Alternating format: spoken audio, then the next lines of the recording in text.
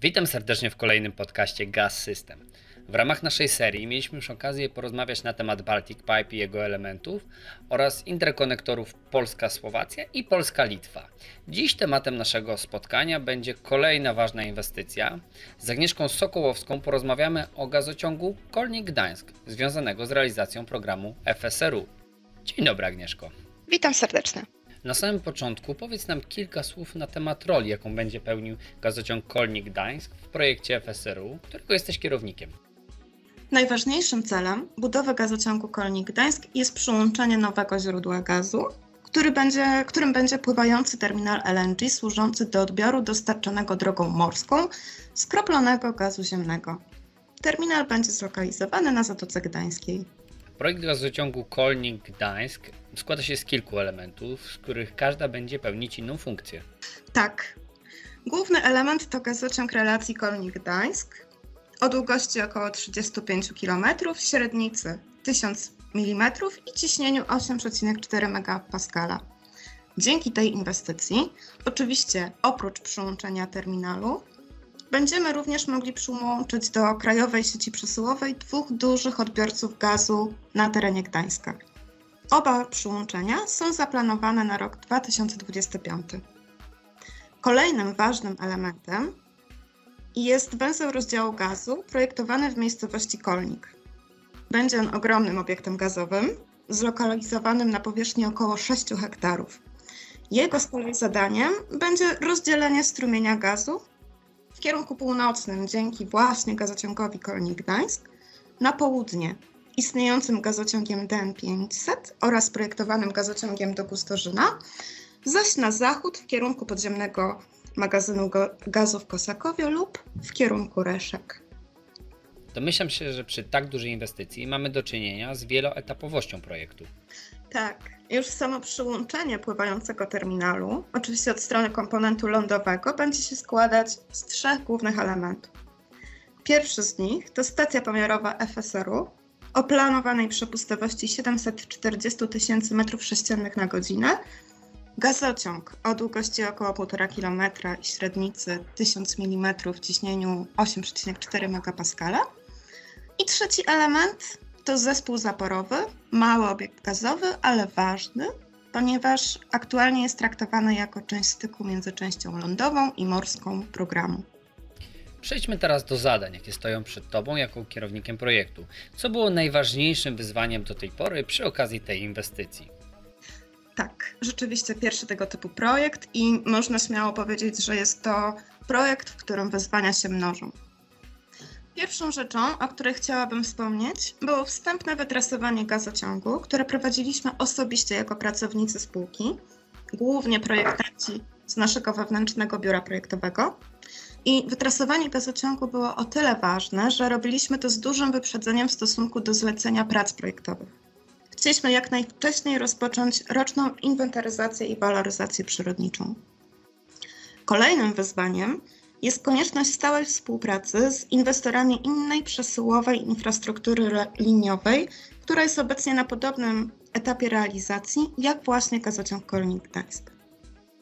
I ostatnia rzecz, która przychodzi mi do głowy, to teren, na którym projektowany jest gazociąg Kolnik Gdańsk. Nasza infrastruktura będzie przechodzić przez miasto Gdańsk, co oznacza tereny wysoko zurbanizowane oraz uprzemysłowione.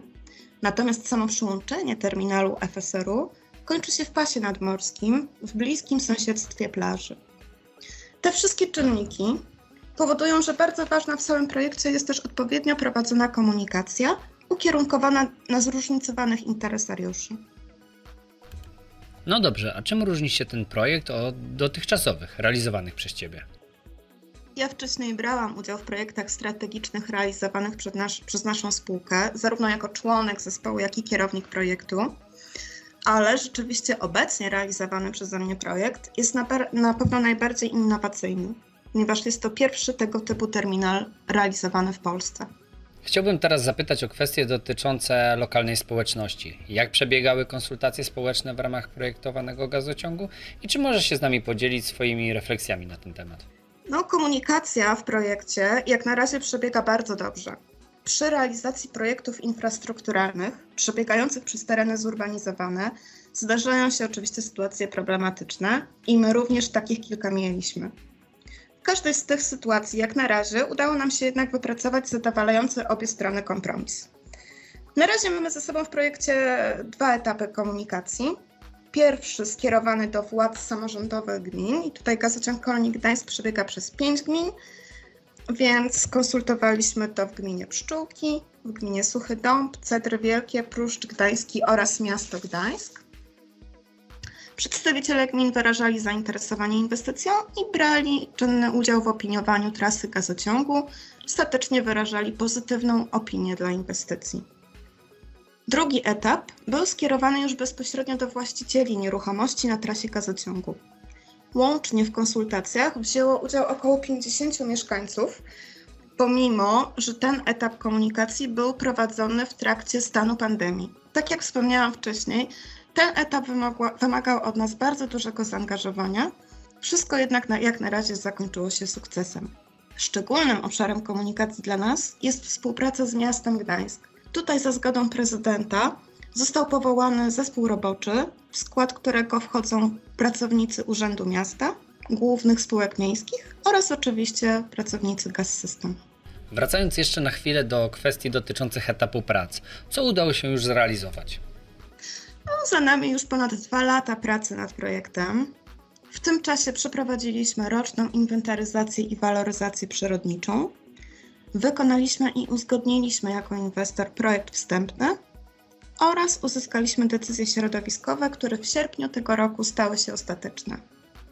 No dobrze, co zatem nas czeka w kolejnych miesiącach?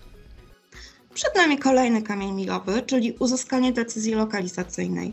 Zgodnie z harmonogramem projektu powinniśmy ją uzyskać w grudniu bieżącego roku. Następnie przystąpimy do opracowywania projektu budowlanego i projektu wykonawczego. No dobrze, na sam koniec powiedz nam, kiedy planowane jest zakończenie całej inwestycji? Sam gazociąg Kolnik Gdańsk planujemy zrealizować do końca roku 2025. Natomiast drugą część inwestycji, czyli gazociąg przyłączeniowy do terminalu FSR-u wraz ze stacją pomiarową, będzie budowany równolegle z komponentem morskim. Aktualnie planujemy, że zostanie oddany do użytkowania na przełomie lat 2027-2028. Agnieszko, bardzo serdecznie dziękuję za rozmowę. Ja również pięknie dziękuję.